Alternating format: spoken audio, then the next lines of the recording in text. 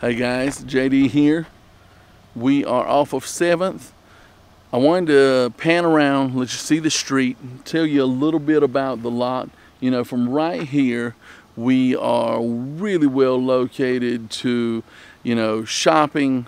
We're not far from uh, a number of golf courses like Coral Oaks.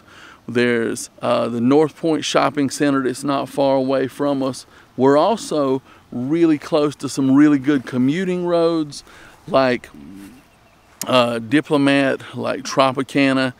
You know, we can get to the Burnt Store Marina quickly. We can get to the 41 really quickly, and that's primarily going to help you commute through uh, Punta Gorda, Fort Myers. You can get down to Cape Coral.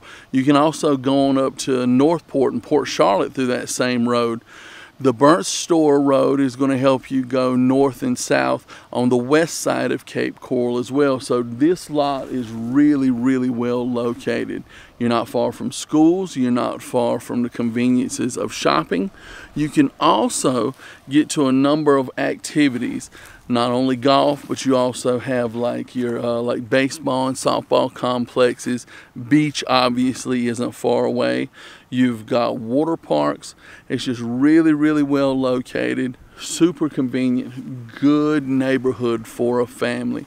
Really good. Love the weather, slight breeze. We like Cape.